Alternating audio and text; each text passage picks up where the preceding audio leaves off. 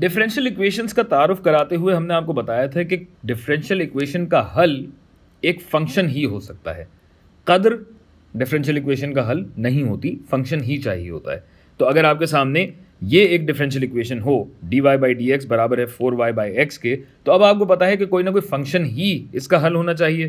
तो फ़र्ज़ कीजिए मैं आपको एक फ़ंक्शन देता हूँ वाई इज़ इक्वल टू चार एक्स और आपसे कहता हूँ कि आप तस्दीक कीजिए कि ये इसका हल है या नहीं। तो आप क्या करेंगे भाई?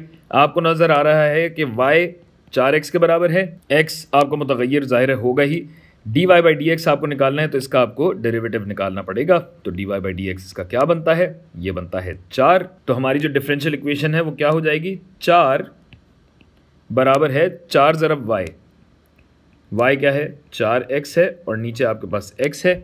यानी चार बराबर होगा। एक्स एक्स को काट देगा। और चार अगर बराबर है सोलह के। हाँ चार तो सोलह के बराबर नहीं हो सकता। गोया ये हमारा हल नहीं है। यहाँ लिख दूँ एक्स से कन्फ्यूज़ ना हो जाए। पीले में कर देता हूँ।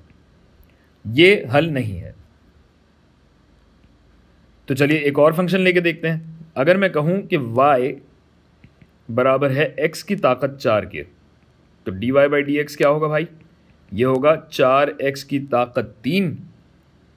तो अब जब इसे इक्वेशन में डालेंगे हम तो ये हो जाएगा चार एक्स की ताकत तीन बराबर है चार ज़रब एक्स की ताकत चार बटा एक्स के। तो इस एक्स की वजह से ये हो जाएगा एक्स क्यूब और आप देख सकते हैं कि चार एक्स क्यूब चार एक्स क्यूब के बराबर आ रहा है तो ये यकीनन हल हो सकता है। लेकिन सिर्फ़ ये हल नहीं है।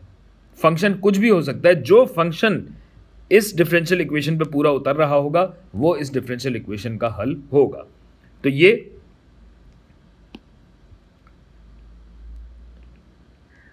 एक हल है।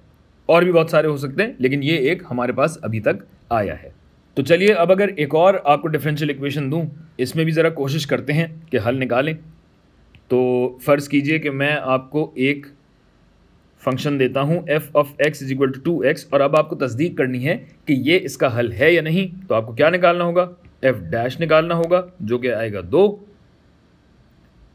और इन दोनों चीज़ों को जब आप यहाँ पर डालेंगे तो देखते हैं क्या सूरत हाल बनती है भाई। एफ़ प्राइम ऑफ़ एक्स दो है एफ़ ऑफ़ एक्स दो एक्स है माइनस एक्स यानी दो बराबर आ रहा है एक्स के। चक्कर ये है कि जब एक्स दो के बराबर होगा, तब तो ये इबारत बिल्कुल दुरुस्त होगी और ये एक सोल्यूशन हो सकेगा। लेकिन मैंने आपको क्या बताया है कि ये डिफरेंशियल इक्वेशन का जो हल होता है, वो एक कदर नहीं होती। डिफरेंशियल इक्वेशन का हल फ़ंक्शन होना ज़रूरी है, लिहाजा ये हमारा हल नहीं है। अगर मैं एक और मुमकिन हल आपको दूँ F of X is equal to X जमा एक तो एफ़ डैश क्या हो जाएगा भाई? या एफ़ प्राइम क्या हो जाएगा? ये हो जाएगा एक। इसे भी इक्वेशन में डालिए। एक बराबर है एफ़ ऑफ़ एक्स जो कि है X plus one minus X जिसमें एक्स और एक्स जब कट जाएँगे तो हमारे पास क्या बचेगा? One is equal to one हाँ अब चूँकि मुतगैर यहाँ पे नहीं है तो बिल्कुल ऐसा है कि ये एक हल हो सकता है।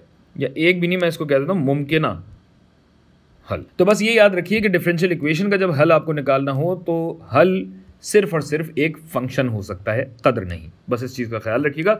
आगे हम और भी मिसालें करेंगे और इस चीज़ को और तफसील से समझेंगे।